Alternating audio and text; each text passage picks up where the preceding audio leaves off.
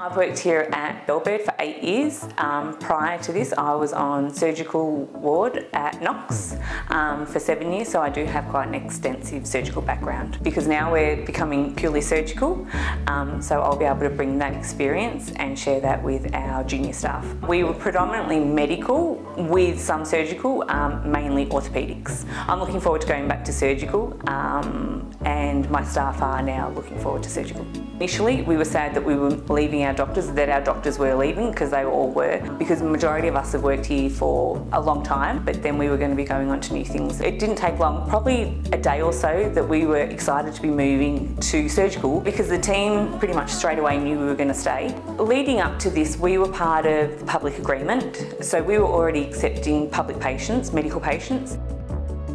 I came here for my operation.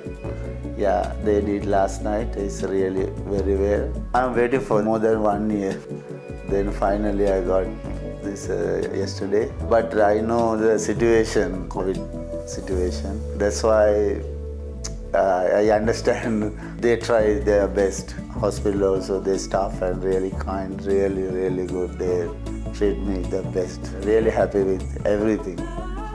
Patients to us, it doesn't matter whether they're public or private patients, but they're still patients, so they still need to be cared for. Private patients, you know, haven't had to wait very long. They can just go in, have their surgery. You know, some of them might be waiting six weeks, whereas some of these patients are waiting years. And I, I think COVID has had a, a, massive impact on that with surgical patients lists being put on hold. So to me, I think that's thrilling really that we can help these patients finally get their surgery. In our previous company that we worked for, um, we actually scored highest in the whole of the company um, for patient care experience. So I think that's really great that we're now taking that on with us at, at Blackburn. So, and considering we all stayed, we'll be able to share that with our patients. I'm really thankful for all the Eastern Health staff that have supported us from day one, um, right up to orientation last week and to our first day accepting our first patient on Monday.